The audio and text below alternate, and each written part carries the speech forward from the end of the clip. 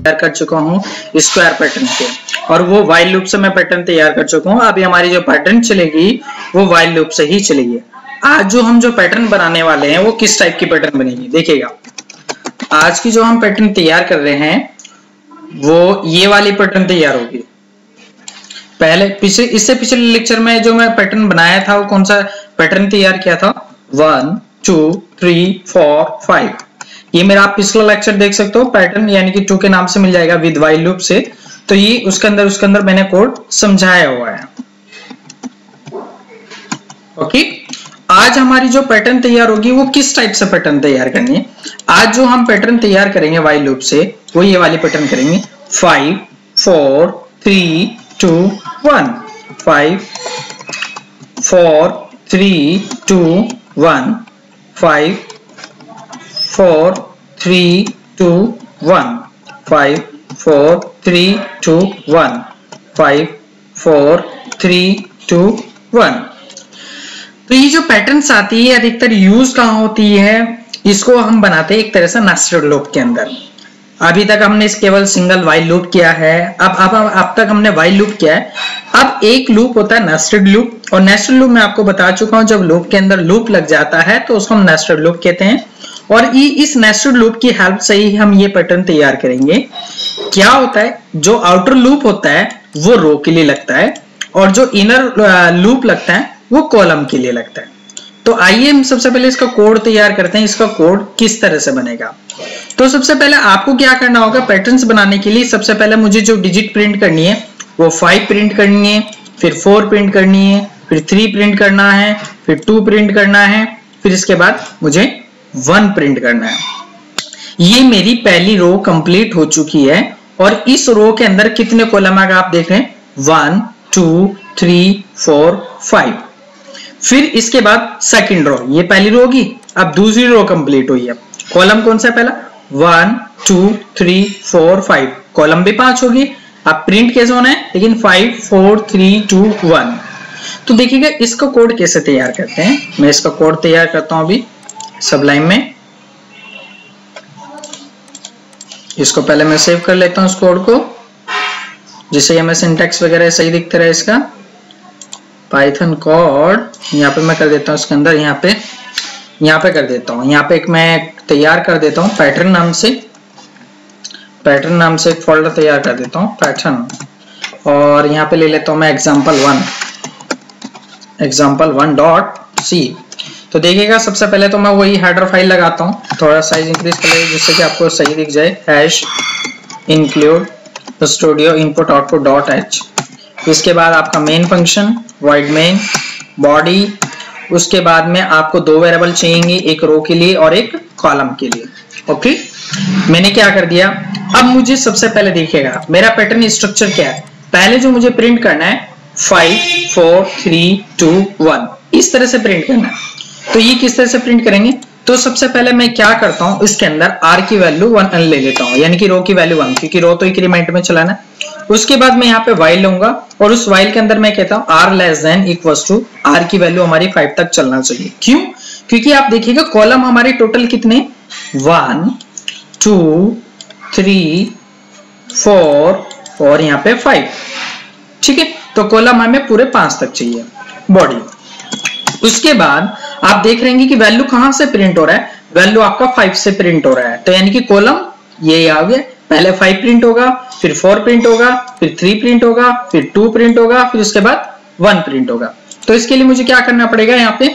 C equal to मैंने five कर दिया। यानी कि c की वैल्यू यहाँ होगी आपकी फाइव उसके बाद में कहना वाइल c कहाँ तक चले? C greater than equals to one आप देखिएगा यहाँ पे जो मैंने कंडीशन लगा रखी है, यानी कि पाँच से लगा के ये हमारा कहाँ तक चलेगी? वन तक चलेगा। तो पाँच से वन तक बॉडी उसके बाद में क्या करता हूँ, यहाँ पे प्रिंट यहाँ पे मैं किसको कर दूँगा? पर्सन डी लगा के, यहाँ पे मैं कॉमा लगा के सी को प्रिंट कर दूँगा। उसके बाद उसमें आप देखिएगा सी की वैल्यू कितनी? पाँच है। पाँच बड़ा एक से, ठीक है? कंडीशन ट्रू होगी। अब कंडीशन ट्रू होने के बाद में उसने क्या करा? अगली वैल्यू क्या आई? चार। तो चार कब आएगा? चार जब आएगा, जब आप इसकी वैल्यू में से एक माइनस कर देंगे। सी में से माइनस वन कर दिया उसके बाद ये सब वैल्यू प्रिंट करने के बाद में अब मुझे क्या करना है? आर की वैल्यू मुझे प्लस करनी है, क्योंकि मुझे अगला लूप चलाना एक और, यानी कि आउटर लूप चलाना है। इसको मैं लिख देता हूँ, यहाँ पे कमेंट सेक्शन में कर देता हूँ। ये मेरा वाला जो लूप है, ये कहलाएगा मेरा आउटर लूप ठीक है? ये किस लिए है? ये मेरा इनर लूप है। ये मैंने इसके अंदर कमेंट सेक्शन डाल दिया। ओके इसको डॉक्यूमेंट सेक्शन भी बोलते हैं एक तरह से। उसके बाद मुझे क्या करना नेक्स्ट लाइन में आ जाना। नेक्स्ट लाइन में आने के लिए मैं क्या ने क्या कर दिया? स्लेसन कर दिया। क्यों? स्लेसन किस लिए करा? आप देखिएगा, जब ये पूरे पाँच से लगा के एक तक आ जाएगा तो अगली वैल्यू नेक्स्ट लाइन में प्रिंट हो रही है पाँच से ही। तो अब ये किस तरह से चलेगा? पहले हम इसको एक बार कंपाइल करके एक बार चेक कर लेते हैं कि हमारा आउटपुट ठीक है या नहीं है। ओके कंट्रोल से इसको सेव करते हैं। अब इसको एक बार मैं प्रिंट करता हूँ। देखिएगा। सी डी स्लेस उसके बाद मैं क्या करता हूँ, यहाँ पे सी डी कोड इसके बाद यहाँ पे करता हूँ सी डी एक पैटर्न नाम का फोल्डर है। तो ये पैट ये आपको कहाँ मिलेगा? आप देखिएगा यहाँ पे। सॉरी स्पेलिंग गलत होगी पैटर्न यहाँ पे आप देख सकते हैं location C drive C drive के अंदर यहाँ पे क्या है? कोड है कोड के अंदर पैटर्न है। इसको कंपाइल करने के लिए मैंने एक जीसीसी कंपाइलर डाउनलोड किया हुआ है इंस्टॉल किया हुआ है। एग्ज़ाम्पल वन डॉट सी मेरा कोड का जो एक्सटेंशन है वो डॉट सी क्योंकि सी का कोड है। एंटर कर देंगे। तो अभी देखिए इसके अंदर कोड के अंदर एरर आ चुकी है। वो क्या कह रहा है? इम्प्लिसिट ये रहा। प्रिंट ऑफ़ की स्पेलिंग यहाँ पे गलत है। तब की वो क्या होता है? प्रिंट ऑफ़ होता है। ये मुझे पाइथन की थोड़ी सी आदत पड़ी है। पाइथन में अधिकतर क्या होता है? प्रिंट चलता है। तो इसमें ये प्रिंट ऑफ़ होता है। तो उसका थोड़ा सा मुझे कंफ्यूजन हो गया। अब इसको एक बार कंपाइल करते हैं।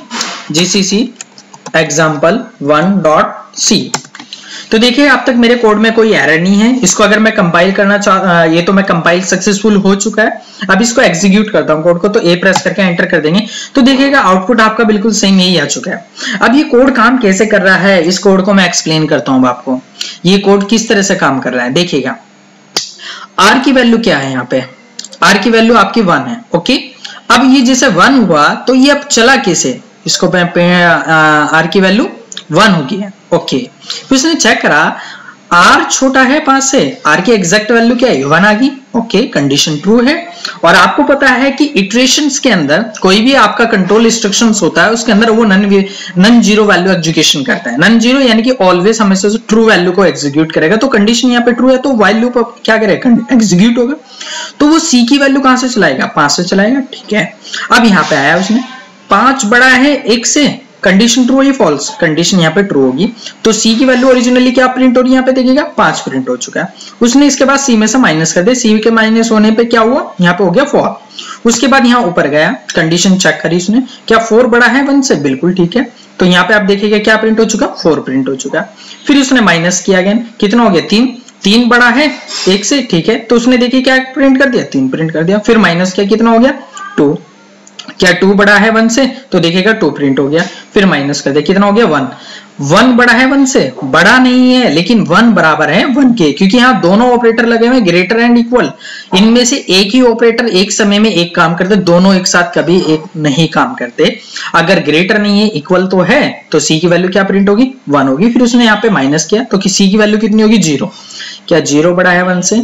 नहीं कंडीशन वाला क्या ज़ीरो बराबर है वन के? यहाँ भी कंडीशन आपकी फॉल्स हो चुकी है। तो वो इस लूप से यहाँ से एग्जिट होके वो आर की वैल्यू में एक ऐड कर देगा। यानी कि अब वो हम, हमारी एंट्री अब आउटर लूप के अंदर हो जाएगी। अब तक तो वो इनर लूप चल रहा था। तो आर की वैल्यू कहाँ से चली थी? वन से चली। तो आर में जैसे इसने प्लस किया तो यहाँ पे क्या हो गया? प्लस होने पर टू हो चुका। टू होने के बाद वो नेक्स्ट लाइन में आ गया। यहाँ पे प्रिंट ऑफ़ नेक्स्ट लाइन फिर उसने ऊपर जाके आउटर लूप में गया। आउटर लूप में ही अभी उसने अब यहाँ पे चेक किया।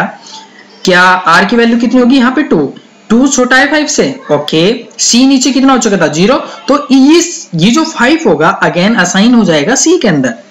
सी के अंदर जैसे फाइव असाइन हो चुका तो हमारी सी की वैल्यू क्या होगी? फाइव होगी अगेन उसके बाद उसने क्या करा? यहाँ पे चेक करा। फाइव ग्रेटर देन वन या फाइव ग्रेटर देन वन क्या प्रिंट हो जाएगा?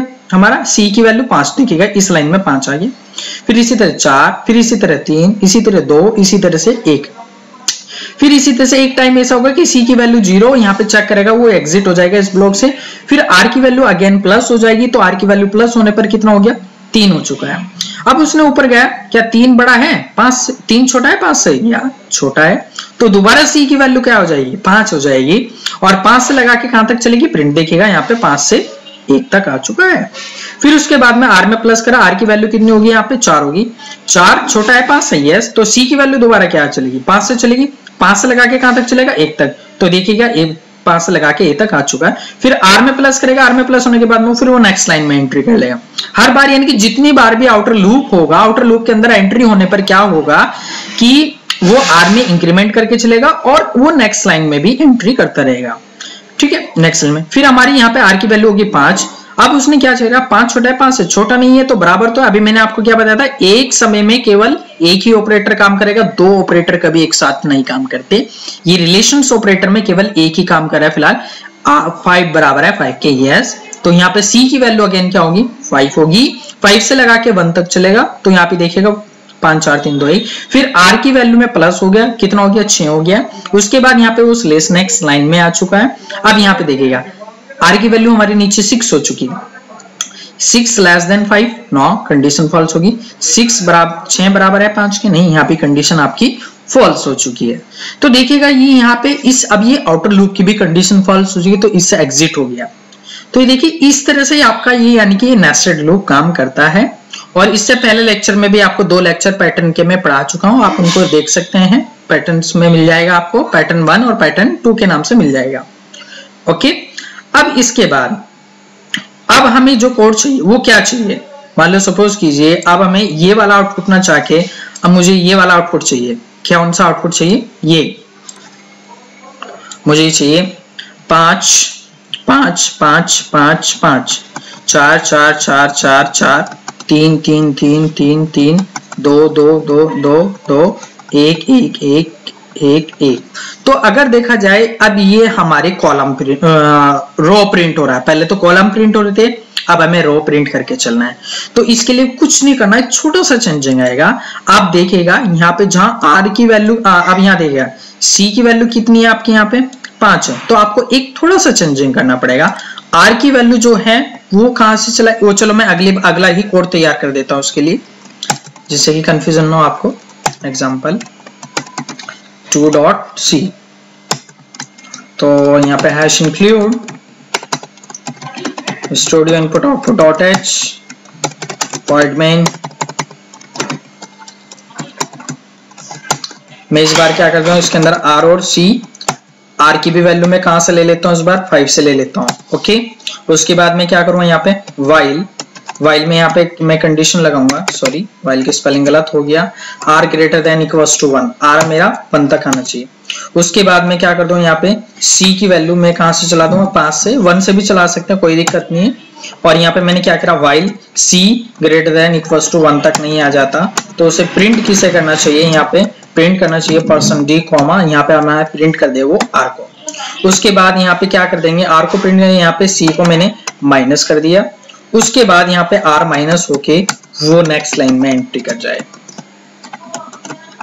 स्लेस एन अब देखिएगा कोड कैसे काम कर रहा है, इसको समझाता हूँ। ये कोड जो काम, पहले हम इसको एक बार कंपाइल कर लेते हैं। कोई एरर तो नहीं है कोड में।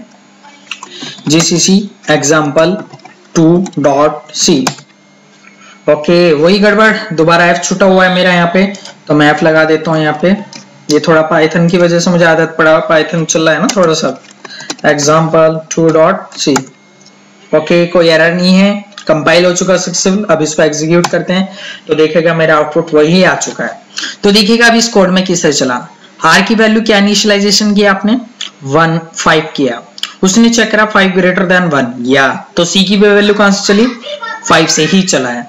फाइव ग्रेटर देन वन तो आर की वैल्यू क्या प्रिंट होगी ओरिजिनली आर तो ऊपर अभी वन ही है तो आर का वैल्यू क्या प्रिंट हो गया? फाइव फिर उसने यहाँ पे सी में से माइनस करा. किसमें से? सी की वैल्यू कहाँ से चली थी? फाइव से तो सी यहाँ पे माइनस होकर फोर हो गया. उसे फोर होने के बाद में यहाँ पे आया फोर ग्रेटर देन वन या फोर ग्रेटर देन वन है. तो फिर आर प्रिंट हो जाएगा। आर में तो अभी मॉडिफाई हुआ ही नहीं आर में तो अभी फाइव ही है तो अगेन देखिएगा फाइव प्रिंट हो गया। फिर यहाँ से उसने सी में से माइनस किया। तो कितना हो गया आपका? थ्री हो गया। थ्री ग्रेटर देन वन फिर आर की वैल्यू ओरिजिनल क्या प्रिंट होगी? फाइव ही प्रिंट होगी। अभी तो आर में मॉडिफाई होनी फिर इसने इसमें से माइनस किया तो सी की वैल्यू कितनी होगी? टू होगी। टू ग्रेटर देन वन या आर की वैल्यू फिर क्या प्रिंट हो जाएगी आपकी? फाइव हो जाएगी। फिर उसने इसमें से सी में से माइनस करा कितने हो गया? वन वन बराबर है वन के तो आर की वैल्यू दोबारा क्या प्रिंट होगी? फाइव होगी।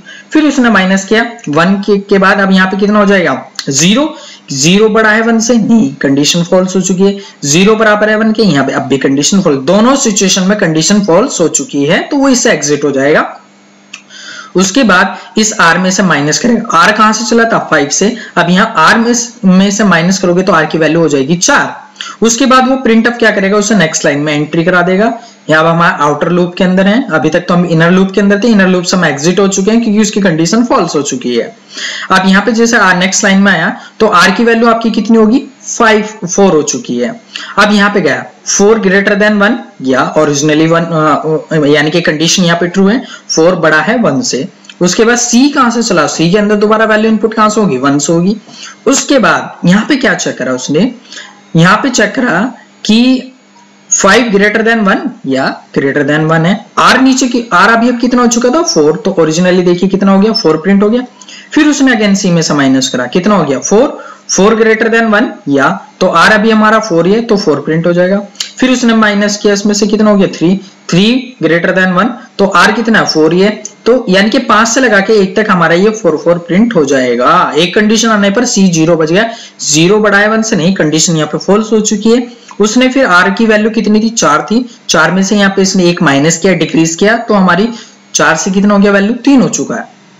Three greater than one three greater than one है। तो see and again initialization five and then condition check five greater than one तो आर की वैल्यू आपकी कितनी हो चुकी थी? तीन। देखेगा तीन प्रिंट हो रहा है। तीन तीन तीन।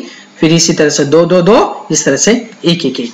तो इस तरह से हम वाइल लूप से नेस्टेड लूप के थ्रू पैटर्न को तैयार कर सकते हैं ओके आ, तो आप अगर यदि आप शुरू से पैटर्न को समझना चाहते हैं तो आप मेरा फ़र्स्ट लेक्चर और सेकंड लेक्चर देख सकते हैं। उसके बाद आपको ये भी समझ में आ जाएगा। मैंने उसके अंदर और अच्छे से डीपली बताया और अच्छे से बता रखा है। तो आपको फ़र्स्ट लेक्चर देखेगा यदि आपको और अच्छे से पैटर्न क्लियर करना है उसमें फ़र्स्ट और सेकंड में और अच्छे से आपको क्लियर हो जाएगा।